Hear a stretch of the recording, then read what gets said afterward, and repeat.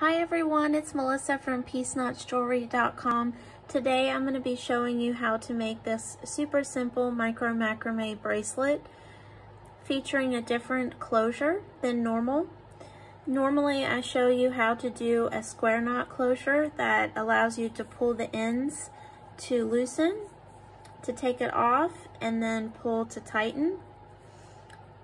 This one is different in that all you have to do is pull off the bead and attach the clasp back together. So the supplies that you're gonna need are a macrame board with T-pins, a lighter, scissors. I used the eight millimeter um, bargain bead box February 2021. It's a quartz round bead in aqua waves. If you don't have this particular bead, um, don't worry, you can use any type of uh, charm that you want. Uh, to create this little charm, I had to use um, head pins um, as well as bead caps. And then the cord that I used is an S-Lon cord in um, a 0.5 millimeter in this uh, light brown color. So let's pull things to the side and let's get started. Okay, first we're gonna make this cute little charm. And in order to do that, you need a head pin. And you need some bead caps. So first, place the first bead cap. And then take your 8 millimeter bead and place that on top. Again, I ran out of the bead caps that I'm showing here, so I'm just using a different one. And then you put on the other bead cap like so. We're gonna take our chain nose plier and we're gonna bend. You're gonna hold it right at the end and you're gonna bend that over like so. And then you're going to cut the, um, the head pin, really, you're gonna have to gauge. You'll get used to it once you do it a couple of times. It's kind of like a trial and error. I usually leave myself a half an inch or more. Cut it.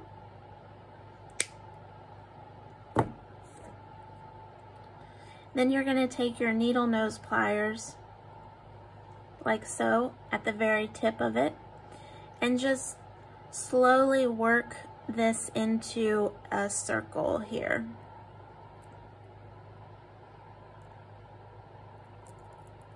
I usually continue to hold down. There we go.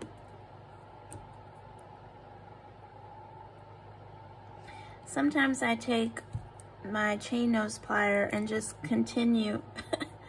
see, as you can see, it's hard to hold together. But I just continue pressing down because you don't want this to really move around on you.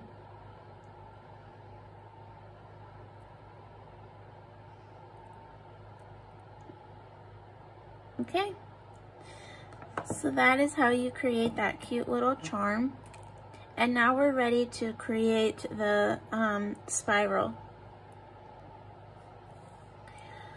Okay, so you're gonna cut a piece of 40 inch cord. Keep in mind that all of my bracelet tutorials are for a six inch wrist.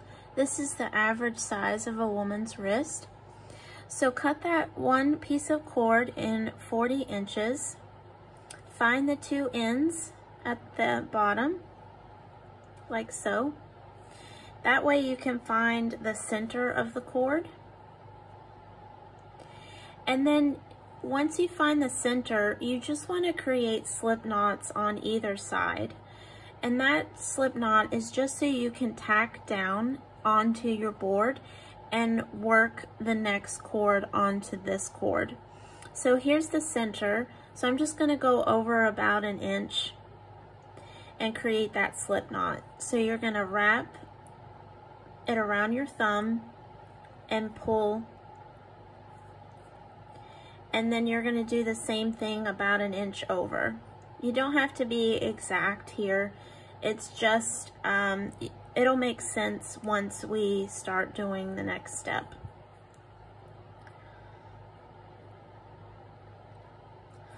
So my other one came out, so I just need to recreate it right quick. Okay, so now we're gonna tack down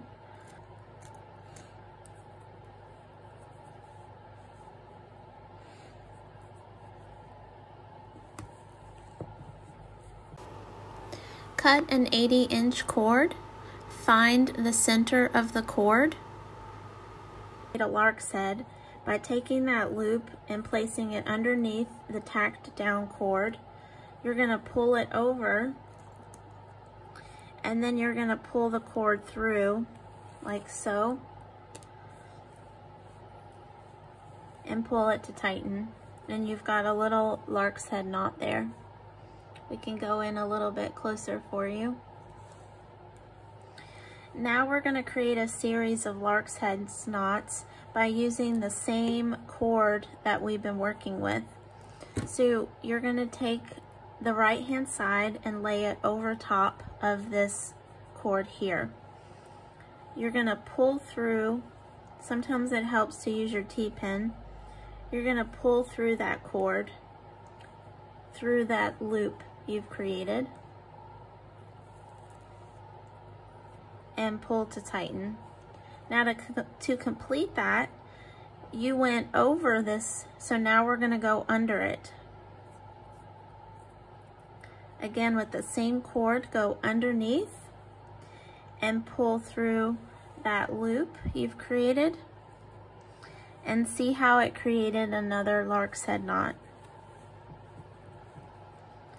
So let's do it now on the left hand side. So you're gonna go over and pull through.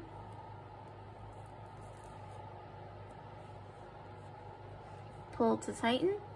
And now you're gonna go underneath.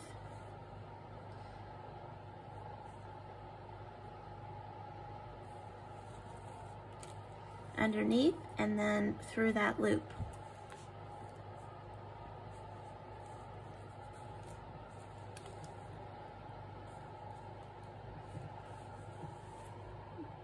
So you're gonna follow the same exact process going left, right, left, right until you have did a total of 16. So I'll meet you once you're done with your 16.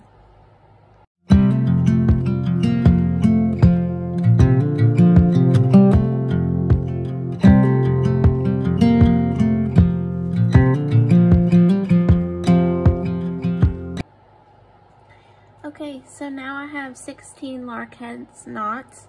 So we're going to take the T-pins out of the um, holding cords and remove your slip knot.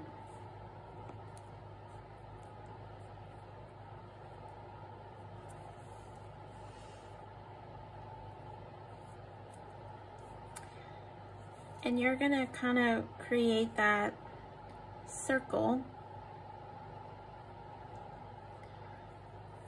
Just pull the cords to tighten those knots and just test to see if the bead will go through. Let me open up my bag here and grab the bead.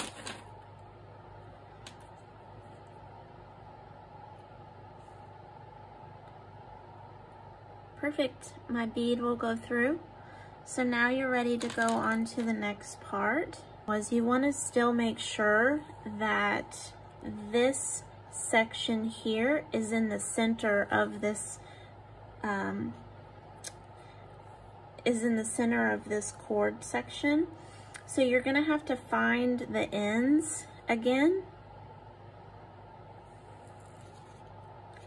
And if it's not in the center, just pull these down until they are. It's pretty easy to do. So now you're ready to tack it down. once it's in the middle of that cord.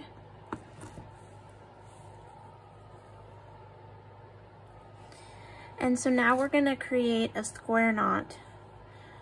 So taking the left side cord and placing it over top the two center cords, then taking your right cord and pulling it up through the hole on the left hand side and just pull to tighten. Like so. And then you're gonna do it on the right hand side. So take your right hand cord, lay it over top of the two center cords. Take your left cord and bring it up through that hole on the right hand side.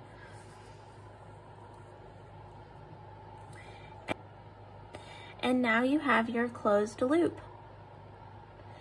So now we're ready to begin. So you just completed this, so now we're ready to begin the spiral knot. So in order to do that, it's exactly the same process of a square knot, except instead of going right, left side, right side, you're gonna continue to do left side, left side. So you're gonna take your cord on your left hand side and place it over top of the two middle cords. You're gonna take your right cord and pull it through that hole on this side, like so.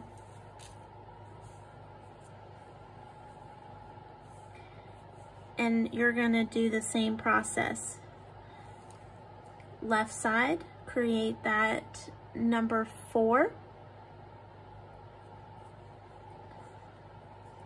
Take your right hand side cord and pull it up through that hole you've created.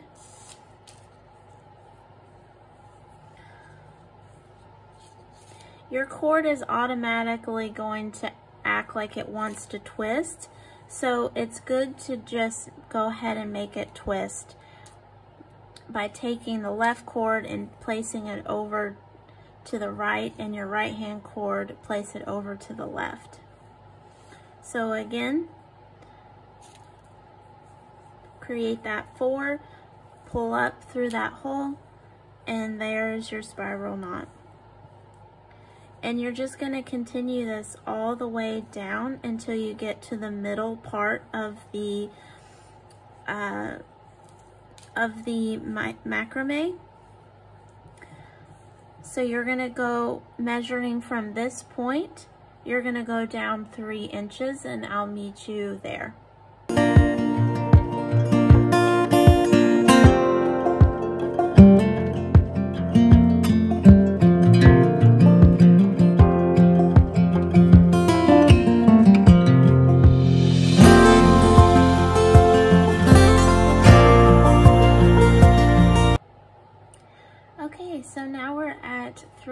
Inches, which is the halfway point of this six inch bracelet, you're gonna go ahead and grab your charm that you created earlier, and you're gonna add it to the left cord, like so. And you're just gonna create those spiral knots again. for another three inches. Okay, so I'm at the very end. I, I, don't, I personally don't have very much cord left. So what you're going to do is you're going to burn the edges by cutting them and then burning. So you don't want to leave too much of cord to have to burn off.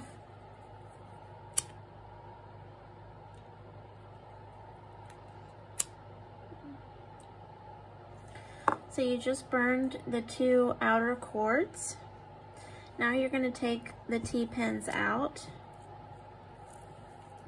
and you're going to create an overhand knot right here just by simply going like so and pulling the cords through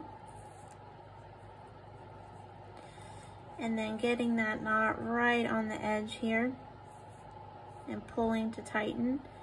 Usually pull each cord one at a time. So there's your overhand knot and then take one of the um, 8 millimeter um, beads and string both of these two center cords through like so and create another overhand knot to close that bead in place.